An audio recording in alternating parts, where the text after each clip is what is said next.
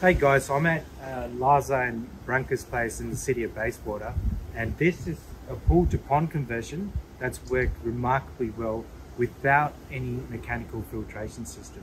So there's no pond pumps, there's no um, air pumps, there's no pool pumps, there's no Japanese filter matting, there's no K1 media, uh, there's no wetland filter or there's no intake bay in here. So do you want to find out how? Let's dive into it.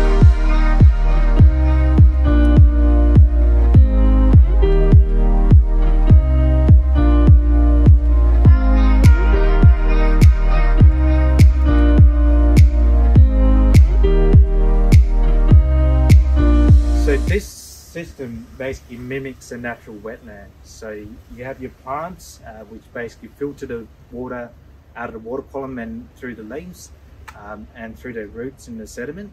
Um, and also has lots of microorganisms or microbes that break down the nutrients. So ammonia, nitrite, nitrate gets converted into atmospheric nitrogen oxygen, and that's called the nitrogen cycle. Um, so when that system is achieved, the water quality remains um, uh, good. Uh, there's also tadpoles in this system, uh, which you can see grazing on the stringy algae on the side. Um, so we've got motorbike frogs here, uh, slender tree frogs, and the banjo frogs. So it's a good diverse community of um, tadpoles here. And then of course you've got your adults floating at the surface on your lily pads and your elephant ears and papyrus and whatnot. Um, so this mimics a natural wetland in that the wind and wave action basically moves the water and then uh, the plants filter it and the microorganisms filter it and the, the animals living it like the tadpoles and the western pygmy perch which is a native fish in Perth um, they control the mosquitoes and mosquito larvae. So it's reached uh, uh, we call it ecological succession into a climax community so the climax community has a diverse range of organisms in it. Um, that takes a while to actually get to that level.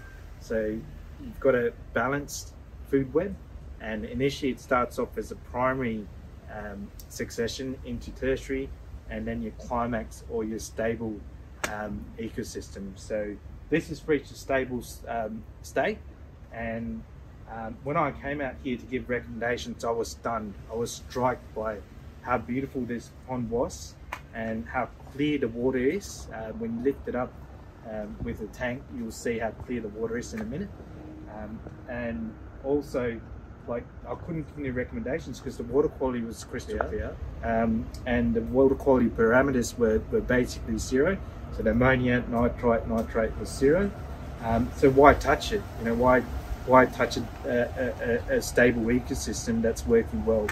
Uh, so this is one pond that struck me that where I couldn't give any recommendations, and I was just happy to see it. And as a biologist, it's it's great to see ecosystems like this in your backyard. Thank you.